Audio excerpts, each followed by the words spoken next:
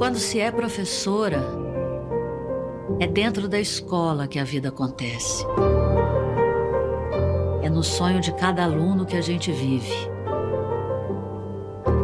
Eu não desisto de lutar pelo que eu acredito. É por meio da educação que o sonho passa a existir e todos os dias a gente se entrega para que esses sonhos não desapareçam. Porque sozinho a gente não vai a lugar nenhum.